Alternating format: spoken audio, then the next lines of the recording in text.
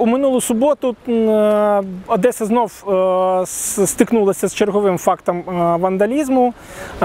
Як ви знаєте, у нашого Меркурія було відбито е, частину ну, скульптурної групи. Це той саме мішочок, що є символом е, цього стародавнього бога, е, де він е, тримає скарби, гроші. Е, Це е, жахливий факт, але е, ми достатньо швидко, е, достатньо швидко на нього відреагували, е, і завдяки е, зусиллям різних, різних структур міста Одеси було достатньо швидко встановлено естетичний вигляд цієї скульптури. Наданий скульптурі вигляд є тимчасовим.